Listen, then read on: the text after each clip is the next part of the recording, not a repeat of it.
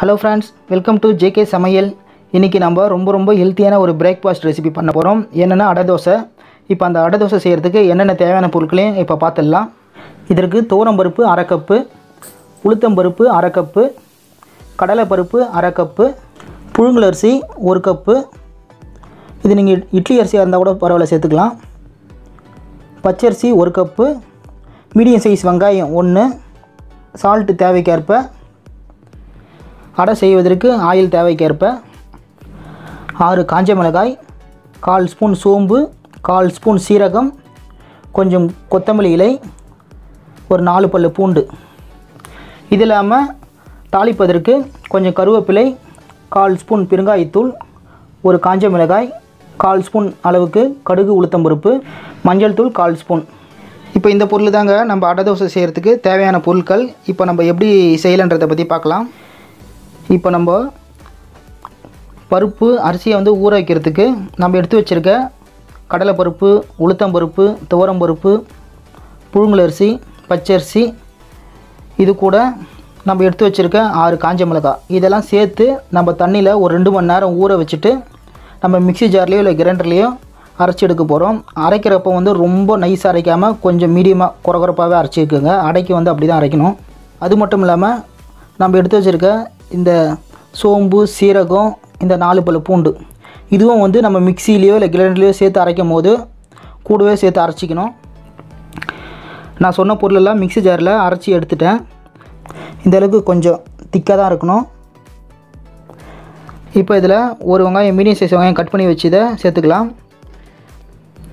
இதில் பெரிய வெங்காயம் கட்டி கூட நம்ம சின்ன வெங்காயத்தை கூட சேர்த்து செய்யலாம் அடைக்கி. சின்ன வெங்காயமும் அடைக்கி வந்து நல்ல டேஸ்ட் கொடுக்கும். இதுலேயே வந்து எடுத்து வச்சுருக்க கொத்தமல்லியிலேயே சின்னதாக கட் பண்ணிக்கோங்க. அதையும் இப்போ சேர்த்துருங்க. அடுத்தது மாவில் தேவையான அளவுக்கு சால்ட் சேர்த்துக்கலாம். நான் ஒன்றரை ஸ்பூன் அளவுக்கு சேர்த்துக்கிறேன். நீங்கள் தேவையான அளவுக்கு செக் பண்ணிவிட்டு சேர்த்துக்கோங்க. இப்போ மாவில் எல்லாத்தையும் மிக்ஸ் பண்ணிவிடுங்க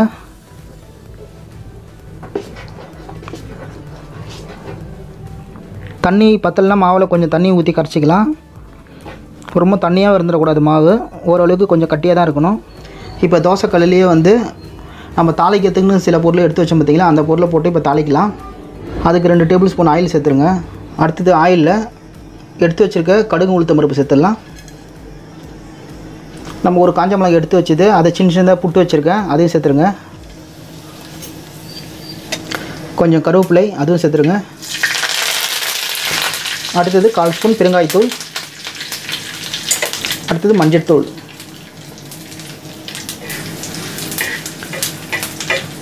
எடுத்து வச்சிருக்க பொருள் எல்லாத்தையும் நம்ம தாளிச்சிட்டோம்.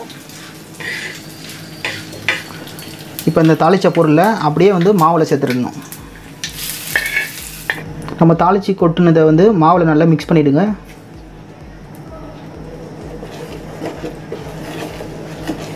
இப்போ நம்ம அடை தோசை செய்கிறதுக்கு மாவு தயாராக இருக்குது இப்போ நம்ம அடை தோசை செய்ய ஆரம்பிக்கலாம். அதற்கு தோசை தவாவில் கொஞ்சம் ஆயில் சேர்த்துருங்க. அடுத்தது மாவை தோசை தவாவில் சேர்த்து தோசை எப்படி செய்வோமோ அந்த மாதிரி தேய்ச்சி எடுங்க.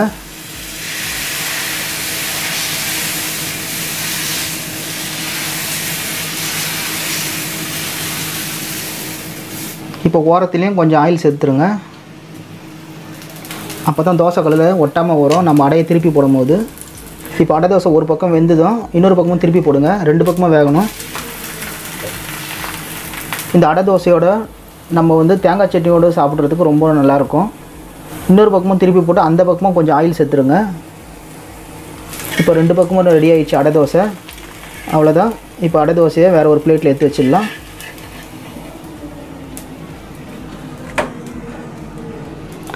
அவ்வளோதான் ஃப்ரெண்ட்ஸ் ரொம்ப ரொம்ப சுவையான ஹெல்த்தியான அடை தோசை ரெடி ஆகிடுச்சு நீங்களும் இதேமாரி ட்ரை பண்ணி பார்த்துட்டு எப்படி இருந்ததுன்னு எனக்கு தெரிவிங்க வீடியோ பிடிச்சிருந்தா வீடியோ லைக் பண்ணுங்கள் நம்ம ஜேகே சமையல் சேனல் இது வரைக்கும் சப்ஸ்கிரைப் பண்ணலாம் மறக்காம சப்ஸ்கிரைப் பண்ணிட்டு கூட வரும் பில் பண்ணி ப்ரெஸ் பண்ணிங்கன்னா நம்மளோட ஒவ்வொரு அப்டேட்டும் நீங்கள் மிஸ் பண்ணாமல் பார்க்கலாம். மீண்டும் அடுத்த வீடியோவில் சந்திக்கலாம். தேங்க்ஸ் ஃபார் வாட்சிங்